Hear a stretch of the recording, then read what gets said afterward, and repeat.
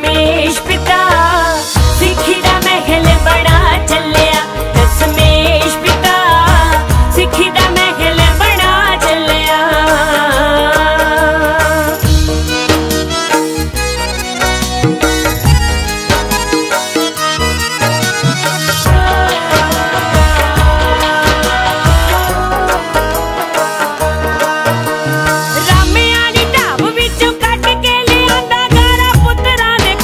ਵਿੱਚ ਰੜਾ ਲਿਆ।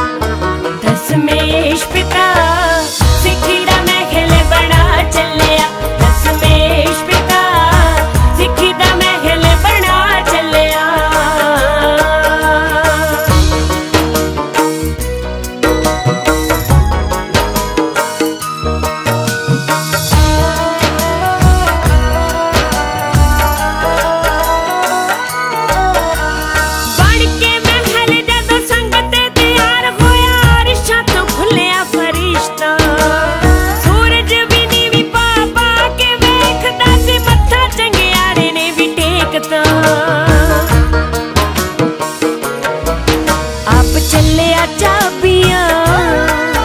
ਆਪ ਚੱਲਿਆ ਚਾਬੀਆਂ, ਗੁਰੂ ਗ੍ਰੰਥ ਜੀ ਫੜਾ ਚੱਲਿਆ। ਇੱਟਾਂ ਦੀ ਥਾਂ ਸੀਸ ਸਿੰਘਾਂ ਦੇ ਲਾ ਚੱਲਿਆ। ਦਸਮੇਸ਼ ਪਿਤਾ